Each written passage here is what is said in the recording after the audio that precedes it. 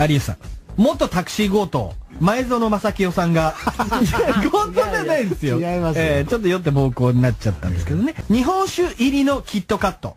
キットカット日本酒という商品の発売記念イベントに、親友の中田ホームレス秀俊さんと共に出席をし、こんなことを言ってやがりました。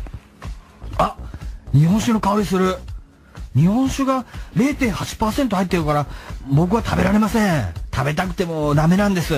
じゃあ帰れ日本酒の香りがするんじゃねえんだよ、バカ野郎。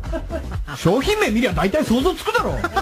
酒も飲めねえガングロのチャラ男が出る幕ねえんだよ。ヒデだかビデだか知らねえけどな。無意味におしゃれしてるモアイ面の旅人連れてな、タクシーで実家帰って土手でな、ラオウ食って寝ろ。どうしたんだよ、お前ら。